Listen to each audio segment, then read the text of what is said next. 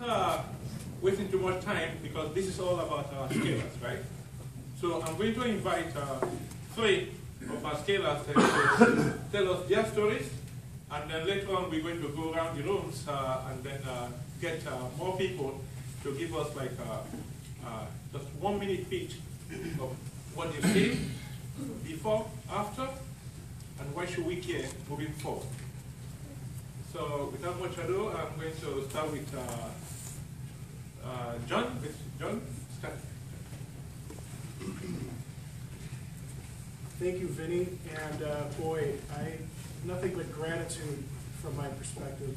What started out with uh, an opportunity with the Iron Horse Hotel and loads of ambition, those two ingredients went from the Iron Horse to the Packers to Harley Davidson to Kohler to Diane Hendricks, and the list goes on and on and on.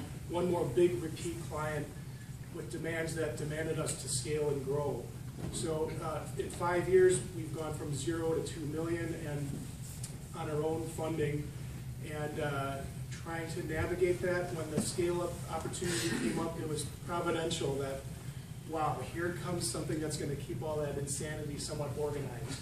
So I, I can't thank you guys enough for offering this to people like me who have ambition and, um, and, and opportunity. And there's, and actually, all the other experienced CEOs had the same problem I'm finding out. So to, to be in that community, the forum is, is just magical.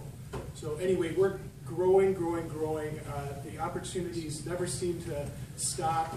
And, uh, you know, my, my ambition is just on fire. So I look forward to giving you another huge success story uh, a year or five years from now. No, no, Maybe. six months from now.